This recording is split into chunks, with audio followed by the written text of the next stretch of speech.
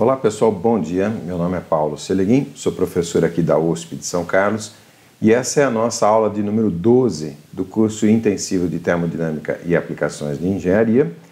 E esta é justamente né, a aula mais importante do módulo mais importante do ponto de vista das aplicações desse curso, que são os ciclos de potência. Em particular, eu vou falar hoje dos ciclos a vapor, que envolvem mudança de fase. É, nessa primeira parte eu vou falar do ciclo de Rankine e na segunda parte eu vou estender um pouco mais esses ciclos.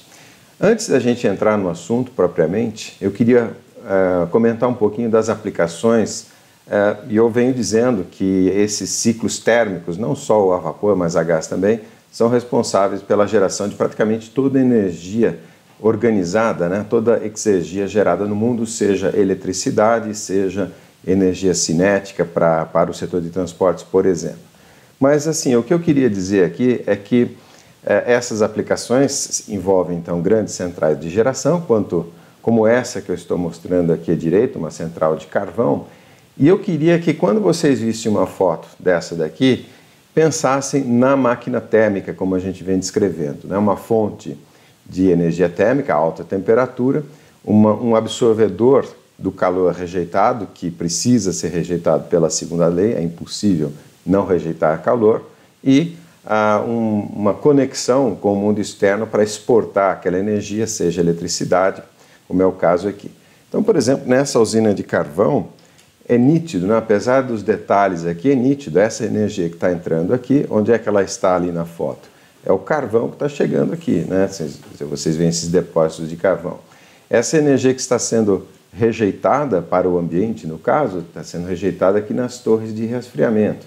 Ah, essa fumaça, entre aspas, que aparece aqui, na verdade é vapor d'água do processo de resfriamento evaporativo dentro da torre.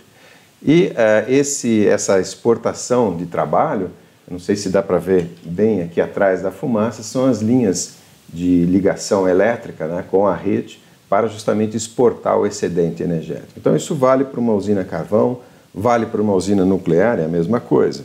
Né? A gente tem aqui a, a fumaça saindo, entre aspas, é vapor d'água. Né? As linhas elétricas a gente vê perfeitamente ali. E, no caso, o, o combustível, como se trata de, de combustível nuclear, então isso é extremamente compacto, pode chegar numa van, são, são pastilhas assim, organizadas na forma de varetas, né? Isso pode chegar numa van aqui pela estrada Uh, e os reatores, a gente vê, o prédio aqui do reator é bem nítido. Né? Esse prédio ele tem uma construção bastante especial, ele resiste a um, um avião, um Boeing que caia do, do, céu aqui em cima desse prédio, ele resiste, por exemplo, tá? é uma série de normas de segurança no caso das usinas nucleares. Uh, também para uma usina, no caso aqui, termosolar, onde é que está a fonte de calor, é o Sol. Nesse caso aqui, esses espelhos todos concentram num único ponto, então você tem aqui alta temperatura, um fluido térmico que absorve calor, gera energia, tá? e aqui, não sei se vocês reconhecem, né, os, os trocadores de calor a ar, na verdade, para fazer aquela rejeição. No caso aqui, é uma região desértica, então você não tem água, né? o ideal é usar uma torre de resfriamento, mas numa região desértica, a água é um, um bem precioso, digamos. Né? Então são trocadores a ar. Aí aqui não aparece a, a conexão com a rede. Então eu queria que vocês é, sempre pensassem dessa forma e não, entre aspas, se perdessem nos detalhes aqui. Tá? Por quê? Porque as análises que a gente vai fazer envolvem, digamos, esses, esses grandes módulos né, que é, tem uma realização física específica em cada, um, em cada tipo desse tipo de, de usina, quero dizer. Tá? E, é, por fim, as usinas mais avançadas recentemente, as de ciclo combinados ou avançados, como eu prefiro chamar, é, e isso, inclusive, é o tópico né, das aulas finais desse módulo aqui. Então, a gente aproveita, na verdade, uh, o rejeito de calor de, uma, uh, de um ciclo térmico como uh, para acionar um outro ciclo térmico, aproveitando as melhores características de cada um deles. Eu mostrei para vocês nas aulas passadas ali o ciclo de Brighton, o ciclo a gás, e ele tem uma vantagem, que é funcionar bem a altas temperaturas. Mil graus, por exemplo, vou voltar um slide, né? Então aqui, por exemplo, né, você, nessa torre aqui, você tem condição de alcançar mil graus, 750, 800, 900 graus, por causa justamente dessa concentração. E a gente sabe que o ciclo de Rankine não funciona muito bem a, a, a altas temperaturas. Eu vou mostrar isso hoje para vocês, na verdade. Né? Ah, isso, altas temperaturas é o ciclo de Bright. Porém, ele tem uma desvantagem, rejeita é, calor, esse calor é, rejeitado aqui, ele tem ainda altas temperaturas, tem qualidade, né, tem um conteúdo exegético alto, que pode e deve ser usado para acionar, então, um ciclo de Rankine numa temperatura mais baixa aqui. E quando a gente olha esse tipo de usina, que é uma maravilha tecnológica, eu considero, né, é muito fácil identificar é, essas, essa configuração aqui. Então, vocês estão vendo aqui a rede elétrica ligada, né? É, é, aqui a aspiração de ar para o ciclo a gás, né? pra, no caso, muito provavelmente uma usina a gás natural, ali as torres de resfriamento para fazer essa rejeição final, e o elemento chave aqui, porque as turbinas e tal estão todas dentro dessa, dessa construção, né? mas o elemento chave são essas caldeiras regenerativas, é, ou seja, que pegam o calor residual de um ciclo e uso para gerar vapor, no caso, né, para o outro ciclo. Essas caldeiras têm essa geometria, aqui estão os gases de combustão, que é, de outro modo seriam exaustados aqui para a atmosfera sem recuperação do calor. Nós vimos isso é, nas aulas passadas, né, em que a gente fez a análise do ciclo de Brighton, e aqui a gente pode ter temperatura de 400 graus, 500 graus, se não for feita essa recuperação. Então aqui dentro dessa caldeira, vocês já podem ver essa, toda essa tubulação, então você tem aqui as tubulações de água, né, para ser superaquecido na forma de vapor, vapor superaquecido, e essa, esse vapor superaquecido vai acionar as turbinas lá. Eu não vou entrar muito no detalhe dessa usina em particular, porque nós vamos ter é, duas aulas específicas né, sobre esses ciclos combinados avançados, é, porque não é só questão de combinar ciclos, mas combinar fluidos de trabalho também, que é interessante. É, então vamos, vamos na sequência aqui e entrar propriamente no, no ciclo de Rankine, que é o nosso ponto de partida para toda essa análise aqui. E é dos ciclos mais utilizados aí, pelo menos desde a Revolução Industrial. Bom, o ciclo de Rankine, na verdade, parte é, do ciclo de Carnot, que é um ciclo ideal, nós vimos que ele é um ciclo reversível. Uh, e é, antes de entrar né, na, na, na, sua definição formal e mostrar como o ciclo de Rankine é adaptado, é uma adaptação do ciclo de Carnot, vamos uh, entrar num ponto aqui que é o ponto do porquê o ciclo de Carnot pode ser um, um ciclo ideal, né, no sentido de ter a, o maior rendimento possível entre o mesmo ΔT. Então, de novo, eu tenho dito, né, é, vamos pensar no ciclo sempre pensando nessa figura aqui, uma fonte quente, um sistema de conversão, né, o fluido de trabalho e a, o absorvedor frio aqui. No caso, o ciclo de Carnot, ele envolve duas rejeições ou duas trocas de calor isotérmicas, é essa e essa daqui. Tá? Então, o aquecimento isotérmico, na verdade, ele está acontecendo aqui. O aquecimento isotérmico, na verdade, é do fluido de trabalho. Então, aquele aquecimento 2, 3 está acontecendo nessa interface, seria interface, por exemplo, entre os gases de combustão e o fluido de trabalho que está circulando aqui né, no, no, no nosso diagrama TS. E aquele resfriamento isotérmico é uma troca de calor que está ocorrendo aqui embaixo. A reversibilidade, não sei se vocês se lembram da aula de entropia, envolve uma série de fenômenos geradores de entropia, né, geradores de irreversibilidade. É, por exemplo, atritos, por exemplo, perdas de calor. Né? Então, do ponto de vista interno, nós não temos isso. Por quê? Porque uh, tanto a expansão aqui, tanto a expansão 3, 4, quanto a compressão 1, 2 são isentrópicas, querendo dizer não há entropia gerada. Tá? Então não tem atrito, não tem nenhum daqueles fenômenos. Agora, a gente poderia ter geração de entropia ou irreversibilidades, então, nas outras duas transformações, a 2,3 e a 4,1, tá? que são trocas de calor, na verdade. E no caso, são trocas de calor é, a temperatura constante. Isso permite o seguinte: permite, vamos desmembrar ali a figurinha do ciclo, né? É, Para ver troca de calor é, é necessário ter um ΔT. Né? Se, quando a fonte cede calor, o fluido de trabalho varia a sua temperatura, então não é possível ter esse ΔT igual a zero aqui, né? que, é o, que é uma possibilidade do ciclo de Carnot, na verdade. Por quê? Porque justamente a temperatura é constante aqui. Em outras palavras, é, mesmo que a gente tenha uma diferença diferencial, né, um epsilon tendendo a zero para esse delta t aqui, aqui eu escrevi igual a zero, eu deveria ter escrito tendendo a zero, porque bastaria fazer a área tender ao infinito para isso daqui tender a zero. É, mas o fato, então, de ter uma, um delta t diferencial permite não ter trocas de calor com delta t finito, que não sei se vocês se lembram, é uma daquelas é, possibilidades de geração de entropia. Tá? É, então, justamente é por, esse, por essas duas características aqui, né, o, a isotermia dessas duas transferências de calor, é que o ciclo de Carnot pode ser reversível, portanto, tem um rendimento máximo. Ok? É, vamos então mostrar quais seriam as dificuldades práticas de realização de um ciclo de Carnot, já que ele é o ideal. Então, se eu quero ΔT constante, né, se eu quero temperatura constante, aqui na absorção e na rejeição de calor, eu poderia, por exemplo, usar o fato de que uma substância pura, quando está mudando de fase, mantém sua temperatura constante. Aqui nesse gráfico, né, a gente tem o, a temperatura e entropia, a, a, as linhas isobáricas estão mais ou menos por aqui. Lembra, eu sempre deformo a parte de líquido comprimido para poder mostrar melhor. Né? Então, isso aqui são duas isobáricas. Então, desse, desse, é, esse essa configuração é perfeita, né? É, do ponto de vista do controle da temperatura. Porém, tem alguns problemas práticos. Por exemplo, aqui, né, eu tenho uh, vapor saturado, quando ele expande na turbina, que eu vou ter uma mistura de gás líquido. Esse líquido está na forma de gotas, geralmente, e essas velocidades podem uh, alcançar algo como 300 metros por segundo. Essas gotas impactando nas pás da turbina vão erodir essas pás.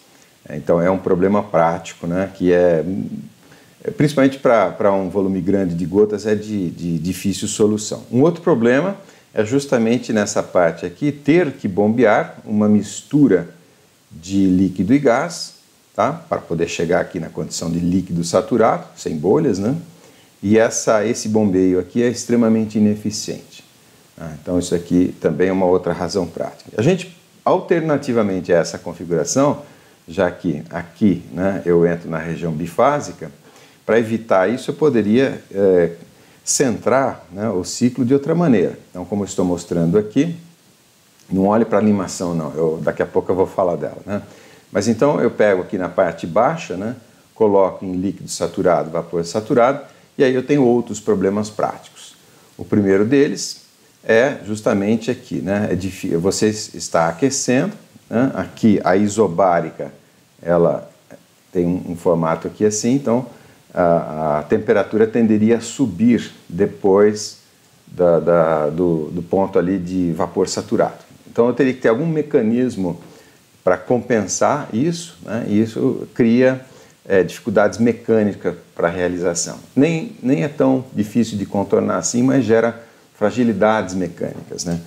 Essa outra daqui é bem pior, na verdade. Se você é, aumentar aqui a pressão de forma isentrópica, né, comprimir da pressão baixa para a pressão alta, aqui, né, no meu nível alto de pressão, isso de maneira isentrópica, você vai alcançar pressões absurdamente ou impossivelmente altas, maiores do que 10 a quinta bar. Né. Então vocês sabem, por exemplo, é possível cortar metal com jatos de água com pressões até bem menores do que isso daqui. Mil bar, por exemplo, já é possível fazer um corte desse. Então, não, não é factível trabalhar nessas regiões de pressão, tá? ou a menos que eu admitisse uma temperatura muito baixa aqui, o que é ruim por outros motivos, né? a tal da eficiência do ciclo. Então, a realização prática do ciclo de Carnot tem uma série de problemas, na minha opinião, incontornáveis, na verdade. Então, o que, que a gente faz? A gente faz uma adaptação que é justamente o ciclo de Rankine. O ciclo de Rankine, vamos ler a sua definição. Então, ele tem a parte baixa igualzinho o ciclo de Carnot, como do slide anterior. Então, eu tenho ali um, dois, uma compressão isentrópica. Tá? Depois, já que eu não posso ter altas pressões, eu vou limitar a pressão. Né? Então, 2, 3, ao invés de ser aquela troca isotérmica, vai ser uma troca isobárica. Né? Então, esse 2, 3, que é essa essa transformação aqui do aquecimento, né, ela ocorre a pressão constante, isso em termos práticos é facílimo de realizar, e é como se a gente tivesse, digamos assim, tirado a tampa do, do ciclo de Carnot. ciclo de Carnot, ele deveria ser, estar aqui, a, a troca de calor, né? mais essa parte da compressão isentrópica aqui. E como isso gera aqueles problemas que eu mencionei no slide anterior, então a gente tira a tampa do ciclo e trabalha com aquilo que dá para trabalhar, né? que é essa compressão isobárica aqui embaixo. O resto é igual, expansão isentrópica aqui na turbina, depois resfriamento isotérmico. Isso aqui é ótimo, né? É, digamos, a favor da, da reversibilidade, portanto, eu não vou ter perda de rendimento associado a essa transformação aqui. E a, a principal razão de se usar ciclos a vapor, né, no sentido de que eu tenho uma, uma troca de fase, uma transferência de fase, aproveitando o fato de que se a substância for pura, a temperatura aqui é constante. No caso aqui, a temperatura não é constante, digamos que a, a temperatura da fonte quente estivesse aqui, né? estivesse nesse patamar aqui de alta temperatura. Então, em toda a extensão da troca ali, exceto exatamente no ponto 3 aqui, eu tenho ΔT diferente de zero. Né? Esse ΔT ele é diferente de zero, exceto ali no ponto 3, portanto, gerador de entropia, portanto, perdas de eficiência. Nós vamos ver isso em números daqui a pouco. Ok? É, então, esse é o ciclo de Rankine. Tá? A Rankine aparece aqui à direita, né? mais um uh, pesquisador ali da Universidade de Glasgow, na Escócia, né? o VAT, uma série de outros pesquisadores saíram de lá. Ok, vamos uh, ver alguns exemplos. Essa aula de hoje eu vou fazer vários exemplos, não é exatamente uma aula tutorial, mas eu quero uh, entrar bastante no detalhe do cálculo. Né? Agora a gente já está se aproximando aqui do, da segunda metade do curso e a parte de cálculo é bastante importante. Eu vou começar com o ciclo básico, né? o, nosso, o nosso V0 aqui, que é o ciclo de Rankine padrão, tá? que é, vamos, vamos ver a definição do ciclo aqui. Eu sempre gosto de começar do ponto de menor energia. Então, um é o líquido a baixa pressão, baixa temperatura. É, vamos supor, né, só por simplicidade, aqui eu já estou pondo em vermelho alguns dados que eu vou usar para fazer cálculos.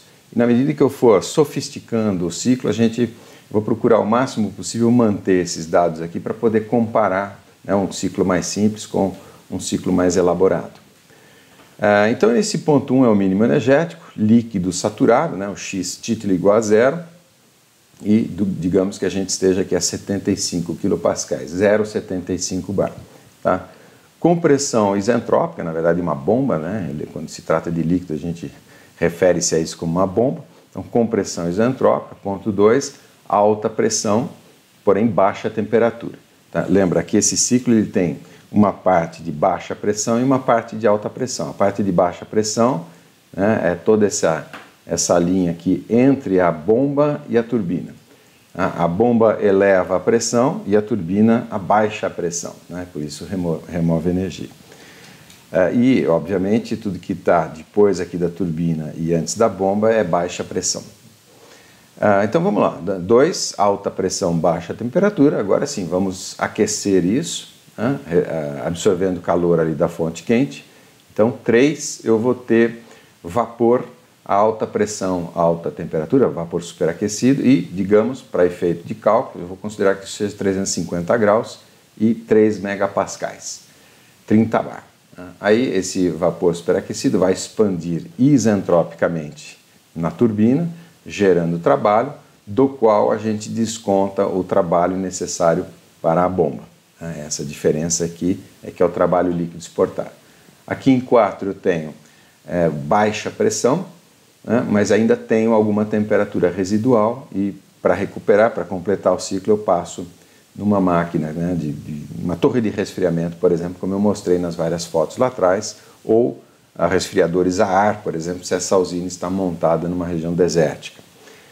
É, correto, né? Então o que a gente precisa fazer agora é justamente uh, o nosso alpinismo termodinâmico, identificar os estados. Eu sempre falo, a fase zero é, é identificar as transformações e procurar determinar a maior quantidade possível das nossas coordenadas GPS.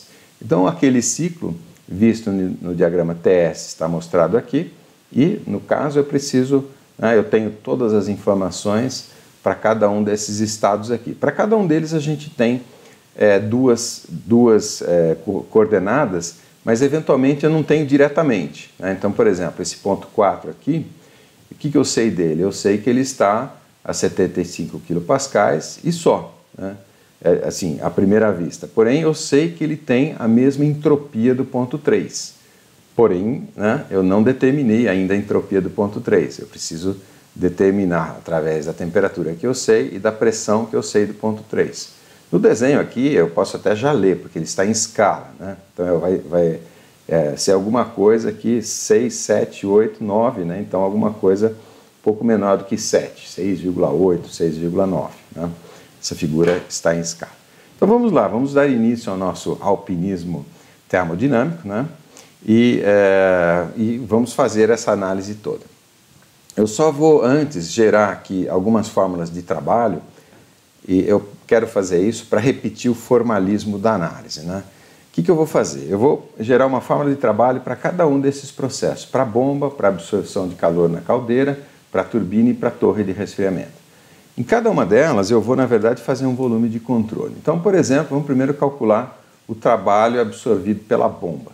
Tá? Para isso, eu vou fazer um volume de controle envolvendo a bomba aqui, ou melhor, acho que eu vou até fazer assim, deixando o trabalho de fora do volume de controle para não dar a impressão de que ele não está atravessando ali o volume de controle. Né? Então, é um volume de controle, tem o fluxo de massa através da fronteira e tem o trabalho. Né? Primeira lei, ela está ah, enunciada aqui, o calor menos o trabalho é a energia que sai menos a energia que entra. Lembra, quando a gente está trabalhando com volume de controle, a gente usa entalpia. Por quê? Porque a entalpia, pela sua definição, né, ela tem a energia interna, U, mais o trabalho de fluxo, que é o PV, certo? Esse aqui lembra da, da figura da seringa hipodérmica, né?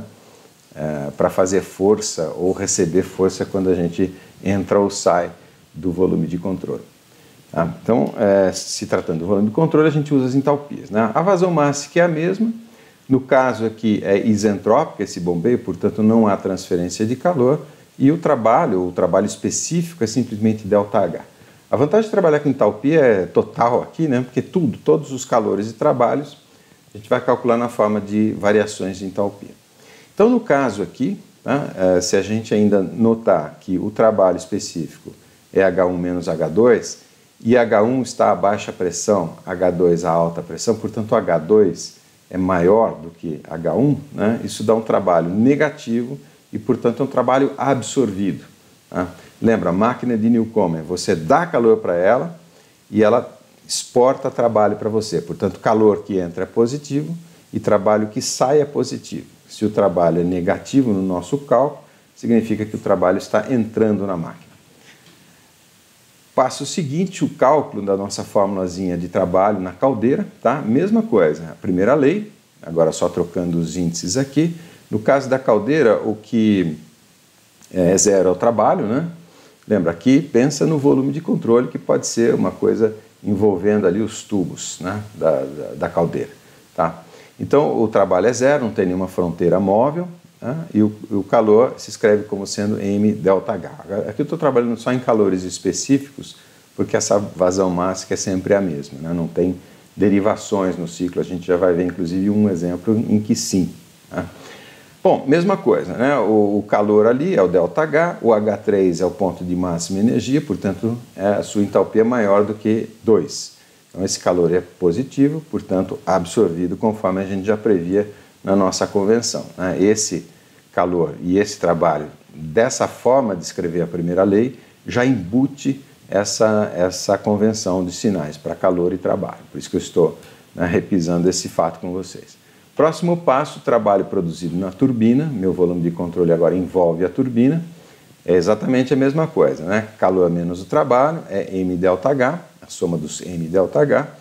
É uma expansão isentrópica ali de 3, 4, portanto não tem atrito, não tem perdas de calor, zero. Tá? O trabalho se escreve da mesma maneira como sendo uh, o, o, trabalho específico, né, o ΔH.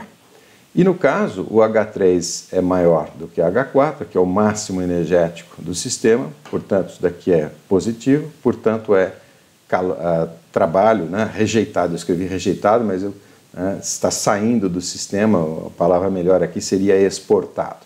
Né? É que esse rejeitado se aplica melhor a esse, essa próxima dedução, que é para rejeição de calor na torre de resfriamento. Vocês já entenderam, né? Então, já vou para o final direto. O, o, H1 menos H4, o 1 é o mínimo energético, então é menor do que o H4. O H4 aqui ainda tem temperatura, aqui é, é vapor, né? aqui é líquido, então é, esse calor é negativo, portanto ele é rejeitado. Então, essas são as nossas fórmulas de trabalho, né? e o que a gente vai fazer agora é determinar o, o cada um desses estados para fazer a conta. E é isso que eu chamo de alpinismo termodinâmico, e, e particularmente esse processo aqui de você fazer uma costura na rocha, a gente chama isso de costura, né? Como se os nossos estados ali fossem aqui, um, dois, três e, o quatro ali. Não, aí eu percebi uma coisa, né? O, o sujeito está caindo, está mostrando a forma de fazer segurança, né? Então pode cair que não vai acontecer nada. Nós não vamos cair, não se preocupa não, tá? E a ideia é o seguinte, que a gente só é, passa para o ponto seguinte quando a gente conseguiu se fixar num determinado ponto aqui, né? Para servir, no caso aqui do exemplo, como segurança, tá? Às vezes não dá certo, a gente tem que ir em frente aqui para depois acertar o ponto que nós deixamos para trás, mas aí é analogia, né? O professor pode ver, adora fazer analogias, e nem sempre elas são perfeitas. Vamos, é, vamos seguir esse 1, 2, 3, 4 aqui, porque no caso do ciclo de referência é bastante simples, na verdade. Tá? É, acompanhe comigo. O que, que a gente sabe do ponto 1, começando pelo ponto 1? A gente sabe que o título é zero, portanto é líquido saturado, né? está sobre a linha de líquido saturado, e sabemos a pressão. Duas coordenadas GPS, eu posso é, determinar todas as outras propriedades. Ah, eu posso fazer isso no RefProp, como eu venho fazendo, no RefProp Standalone, né? posso fazer isso no RefProp via Excel, ou posso fazer isso online. Eu tenho uma planilha online aqui aberta, pelo seguinte, deixa eu, ela deve estar aberta aqui, ó. Está aberta, é essa Steam, é, Steam é, Tables Online, está aqui o endereço Steam Tables Online, e é, tem versão para Excel também e tal. Aqui eu não sei se. Essa aqui, para ser sincero, eu não conheço se ela tem versão estudantil ou não. Tá? Eu sei que ela tem para Excel, tem uma série de, de funcionalidades, mas é só para vapor. E essa é a observação que eu queria falar. É, para vapor tem muito, muito software, tem até para celular, tá? para Android, no caso que eu uso. Tá? É, então, essa é uma vantagem, né? É, trabalhar com vapor. Quando a gente tem que trabalhar com vapor, a gente tem uma quantidade muito grande de opções. E é sempre a mesma coisa. Eu preciso, olhem aqui comigo, né? definir duas uh, formas, né? duas propriedades. Então, ó, eu vou usar pressão temperatura. Eu posso escolher as unidades. Eu tenho aqui um, um menuzinho para escolher as unidades. Então, a nossa pressão, o que, que é? 0,75 bar Opa, ele está pedindo para usar ponto, né? 0,75 bar. Ele tem uma observação na use dot decimal aqui. Ó. E a temperatura, a temperatura, ah, eu estou até fazendo no lugar errado aqui. A temperatura, eu vou voltar na apresentação. Eu não sei qual é, aqui está marcada a temperatura, mas a rigor eu não sei. Por quê? Porque eu vou usar uma propriedade de saturação, na verdade, ela decorre. Então não é essa tabela que eu deveria usar, é essa tabela 2 aqui, de propriedades de saturação. Então aqui simplesmente, né, pressão 0.75, se eu digitar a, aqui o título, que é zero, né, aí eu enter ou calculate, ele vai e calcula para mim. Vamos ver se o valor que eu tenho aqui, eu nem verifiquei isso, né, é o mesmo valor numérico que eu tenho lá e, na apresentação e eu tirei do RefProp. Então, por exemplo, aqui, ó, entalpia específica, 384 365, vamos lá, é 384, 365, aqui 44. Essas pequenas diferenças são diferenças de implementação e são normais. E por coincidência deu o mesmo valor, fora essa diferençazinha, porque, vou voltar aqui, é, a, o estado zero, o estado referencial, é o mesmo. Né? Então essa é uma coincidência. Existem normas para isso, na verdade, né? provavelmente ele está respeitando a norma também. Mas é só para mostrar para vocês que é, é, dados de vapor né, é até mais fácil ainda de obter. Então aqui eu peguei entalpia específica e a entropia específica, 1, 21, 29, vamos conferir, 1, 21, né, 32, 1, 21, 29, 1, 21, 32.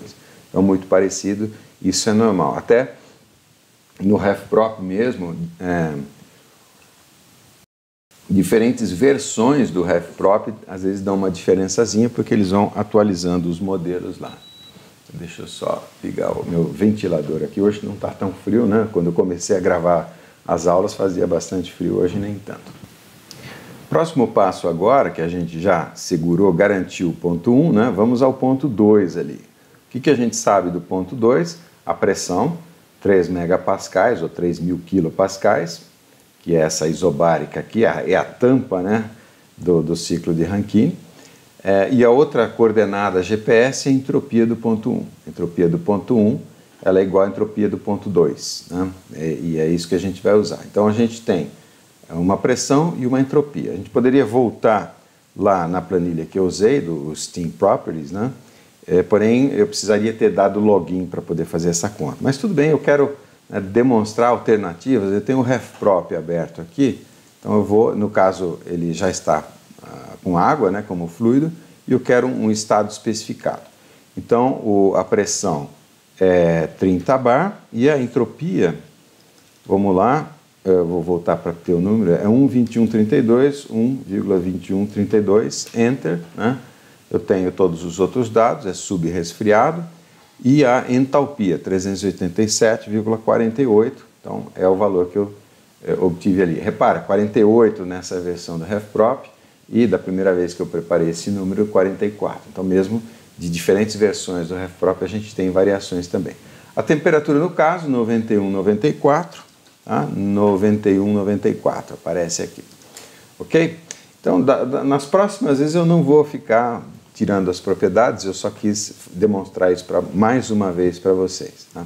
Então, obtivemos ali do ponto 2, ponto 3 é relativamente trivial, né? eu tenho a pressão e temperatura, 350, 3 mega, isso aqui a gente arbitrou, duas coordenadas, tiro entropia, tiro entropia e entalpia, tá? E do ponto 4, eu posso, por exemplo, essa aqui acho que vale a pena eu mostrar lá no próprio RefProp, né? É, então eu tenho a entropia do 4 igual à entropia do 3 e a pressão de 75 kPa. A entropia do 3, é, guardem comigo aqui, me ajudem a guardar, 6,7449. Né? Então do ponto 3, 6,7449 e a pressão 0,75 bar. Enter, então eu tenho tudo aqui. Agora olha que interessante, né? entalpia 2403 e o título 0886, tá? Então é isso que eu tenho aqui, tá? É, a entalpia 2402,7 e o título 088,6, ou perdão, 088,6, né? É, isso daqui o próprio RefProv já me dá calculado, mas eu poderia tirar isso também dessa, das tabelas de saturação. Né? Se vocês forem lá e tirar entropia do líquido, entalpia do líquido e é, é, entropia e entalpia do vapor e fizer a conta pela definição, vocês vão obter esse número aqui. É uma das sugestões que eu deixo aí para exercício. Quer dizer, obter o ponto 4 aqui a partir da, da, entropia. Eu até nem sei se dá certo, vou, vamos dar uma olhadinha lá.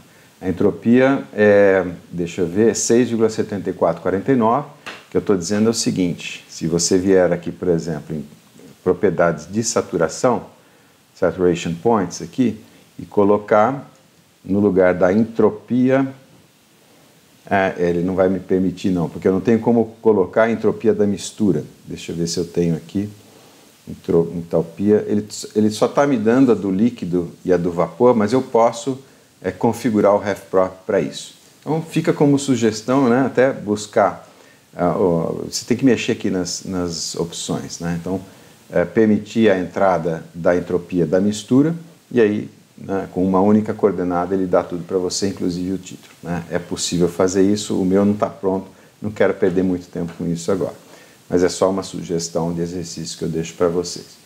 Então, obtivemos entropias e entalpias do 1, 2, 3, 4. Né? Vamos ao cálculo da eficiência. A eficiência é a soma dos trabalhos. Tá? De, aqui eu já coloquei de todas as turbinas menos a soma dos trabalhos de todas as bombas. Né?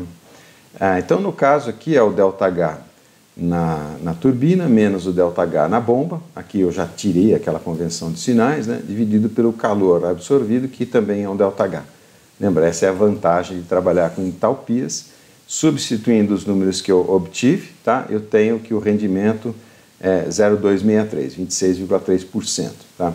Eu coloquei aqui do lado de novo né, esse número, é o Rankine Default, o Rankine padrão, depois a gente vai criar sofisticações no ciclo de Rankine para tentar aumentar esse rendimento, porque está bem baixo. Como é que eu sei que está baixo? Tá? Por exemplo, analisando um ciclo de Carnot no mesmo ΔT.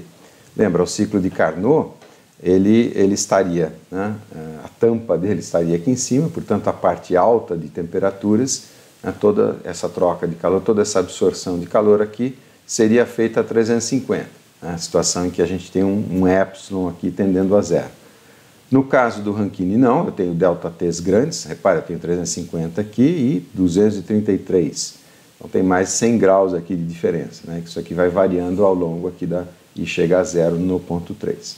Então, considerando essas temperaturas mínimas e máximas, então a, a temperatura mínima aqui de 91,7, isso sai lá do, do, das nossas consultas às tabelas eletrônicas, a temperatura máxima de 350, se nesse ΔT a gente encaixasse um ciclo de Carnot, a gente teria esse rendimento aqui.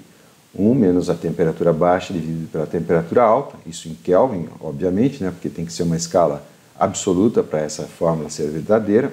Lembra, a escala absoluta foi construída é, propositadamente para a gente poder calcular dessa maneira aqui. Tá? Então, fazendo as contas, eu sei que o rendimento de Carnot é algo como 41,5%, a gente teve 26%, né, que é um pouco mais do que metade desse rendimento aqui. Mas, então, estamos longe do rendimento de Carnot.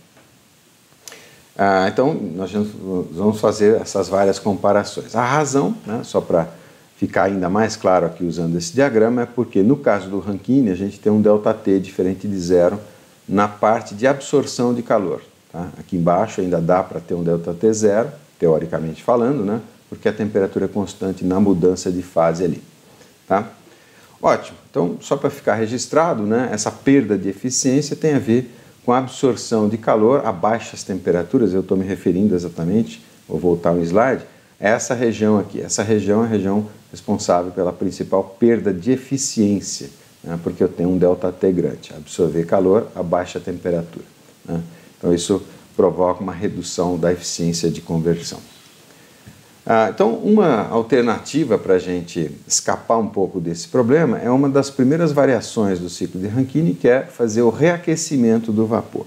Vamos ver como é que isso funciona. Ah, no caso aqui, olhando aqui o diagrama, se o problema está justamente nesse ΔT, vamos fazer alguma coisa para tentar reduzir, se não, se não for possível zerar esse ΔT, vamos tentar reduzi-lo. Como eu posso fazer isso? Vamos acompanhar aqui. Então é igualzinho, né? bombeio, alta pressão, baixa temperatura, passo no, na caldeira, né, tenho aqui o, vapor superaquecido na condição máxima de, de, energia, que é, por arbitragem nossa, 350 graus, 3 megapascais. O que, que acontece agora? Agora vem uma diferença. A gente vai expandir esse vapor na, numa primeira turbina, no, ou, ou no primeiro estágio de uma turbina, só um parênteses, essa turbina pode e normalmente está fisicamente na mesma carcaça que essa outra turbina aqui embaixo, Estou presas no mesmo eixo, inclusive. Tá? Eu separei aqui só para efeito de pedagogia. Né? Então, na medida em que a gente expande aqui no primeiro estágio, a temperatura também diminui. E isso a gente viu que é né, gerador de, de, de, perdas de eficiência. Né? Quando a gente volta lá para absorver o calor aqui, a gente tem temperaturas muito baixas. Então, a ideia é fazer o seguinte: eu vou expandir isso até um patamar intermediário de pressão, vou batizar de 4 agora esse ponto, tá? E antes de terminar a, a, a expansão, né, eu vou enviar de novo esse vapor para reaquecer. Então, como eu já estou definindo um número arbitrário aqui, tá, de, de 3 MB, eu vou ah, expandir até 1,23 megapascais e já já eu vou explicar. Esse número ele é muito importante o valor numérico aquele é muito importante, mas eu não quero explicar agora por que eu escolhi esse número, eu vou explicar daqui a pouco. Uh, suponha que eu tenha tirado da cartola esse número mágico, que por acaso vai ser o ideal. Tá? Mas então a gente expande até 1,23 mega e aí reaquece, então absorve mais calor. Tá? Reaquecendo, a temperatura volta a subir, tudo bem, aí a gente expande de novo. tá? e aí o ciclo, o resto é igualzinho. Repara que eu peguei os mesmos pontos máximo e mínimo para a gente poder fazer a comparação. Tá? No caso aqui, o rendimento desse ciclo, como é que ele é calculado? Ele é o trabalho das turbinas, né, descontado dos trabalhos das bombas. Então, quando eu escrevo assim 1, 2, 3, 4, 5, 6, é, embutido nisso já está a nomenclatura, né, a convenção de sinais é, da máquina de Newcomen. Então, por isso que eu estou somando todo mundo. É que eu sei que esse 1, 2 aqui vai ser negativo. Tá? Uh, se bem que é bom sempre conferir isso quando a gente vai fazer as contas. Então, o que, que acontece? Eu tenho, ainda tenho um trabalho de bomba, mas eu tenho dois trabalhos de turbina aqui. Tá? O 3, 4, tá? que é o primeiro estágio, e o 5, 6, que é o segundo estágio. Isso, teoricamente, favorece o aumento do rendimento. Porém, eu tenho mais absorção de calor no denominador também. Além do 2, 3 que eu tinha na versão default do ciclo de Rankine, eu tenho também 4, 5, né, segundo conjunto de tubos aqui, e isso contribui para diminuir a eficiência. Então, a questão é quem é maior do que quem, né? se o numerador cresce mais do que o denominador. E isso tem a ver com essa escolha aqui. Vai ficar claro logo em seguida. Vamos ao nosso alpinismo termodinâmico, tá? Ah, o ciclo de Rankine fica dessa forma aqui, um 2 é igualzinho, o primeiro aquecimento é igualzinho, e aqui justamente, né? A gente expandia até 88%, se eu não me engano, tá? Aí até a pressão mínima. Agora não, agora a gente vai expandir até uma pressão intermediária, que foi arbitrada aqui, né? mas arbitrado certinho o valor, o valor ideal. Né? E aí a gente reaquece isobaricamente, depois aí sim expande. Repara que eu chego mais próximo aqui, na verdade, da, da linha de vapor saturado. Ok? Então, nosso alpinismo termodinâmico, agora eu vou mais rápido, né? não vou ficar indo no RefProp e nas outras tabelas nossas.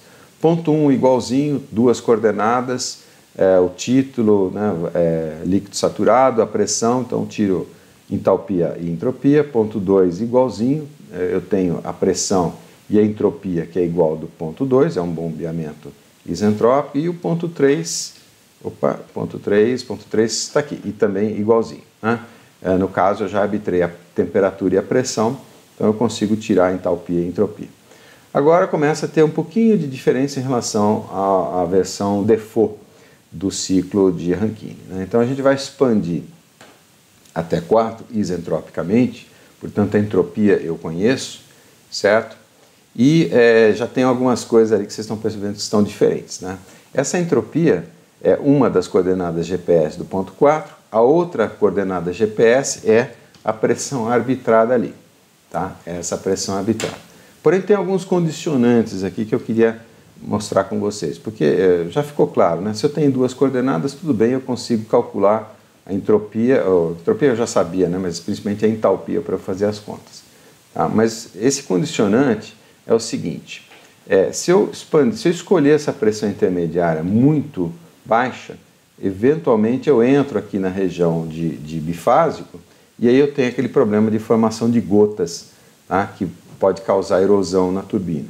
Ah, professor, mas aqui está tendo também. Né? No, no, outro ciclo também tinha, né? e até era um valor excessivo, mas como é o valor default, eu não, não me preocupei. Mas então eu queria só dizer o seguinte: é, essa história das gotas, é, de, de erodir ah, o material das pás, é verdade, porém é interessante você é, até ter um pouquinho, digamos assim, até 95% de título, ok, porque essas gotas elas realmente são muito pequenas, microgotas, né? é uma névoa, na verdade, isso contribui um pouquinho para o aumento da eficiência. Né? Então, é, esse ponto 4 aqui, eventualmente eu teria vontade de defini-lo aqui alguma coisa como 95% de título. Tá? Isso seria um outro critério de, de arbitragem dessa pressão, né? aquela pressão que me dá 95% de título, mas eu vou mostrar para vocês que nesse caso eu ainda assim não tenho o melhor rendimento possível. Tá? Então esse nível de pressão ele resulta na verdade das inclinações relativas aqui das várias curvas, né, de, principalmente de entalpia e pressão, né, que não estão mostradas aqui as linhas de entalpia. E, e, é através de cálculos que a gente chega nesse número aqui. Ok? Então, ah, essa observação é importante. É normal ter um pouco de, de de gotas, né? mas desde que sejam microgotas. Microgotas que eu falo mesmo é 10 a menos 6 metros, né? é milésimo de milímetro mesmo. Tá? Isso, na verdade, fisicamente é uma névoa, então não tem muito problema para pá, não. Ah, mas aquele número que a gente tinha obtido, 88%, esse é proibitivo. Tá? Então, só estou é, querendo dizer né, que a gente deve, por exemplo, controlar a partir da temperatura. Né? Nessa pressão, a temperatura de saturação é 233,8, tá? E é, que também seria uma outra maneira de controlar aqui essa, essa expansão, ou pela pressão ou pela temperatura. Ótimo, então fizemos o ponto 4, o ponto 5 é fácil, né? porque aqui é, é perfeito, eu tenho todos os pontos e tenho como ir sequencialmente do 1 para o 2, do 2 para o 3. Então, ponto 5, eu tenho de novo, temperatura e pressão, tenho entalpia e entropia. O ponto 6, né, entropia igual do ponto 5, uma expansão isentrópica, tá? e a pressão final 75, e aí a mesma coisa. Né? Na verdade, eu, fica também como sugestão calcular esse título a partir desse, entrando ali com, com uh, as propriedades do líquido e do vapor a 75 kPa e essa entropia aqui, né, que a gente sabe. Vocês devem obter ou esse número, esse número aqui e depois esse número aqui. Ok? H6 2569. Então, fizemos o ciclo todo, completamos todos os pontos, vamos aos cálculos. Né? Então, a fórmula do rendimento é a mesma, todos os trabalhos de turbina menos todos os trabalhos de bomba, eu já, já tenho né, aquela convenção de sinais, e, e dividido por todos os calores absorvidos ali nas várias etapas de aquecimento. Então estão aqui as entalpias que a gente determinou, tá? E se eu não errei nenhuma conta, né?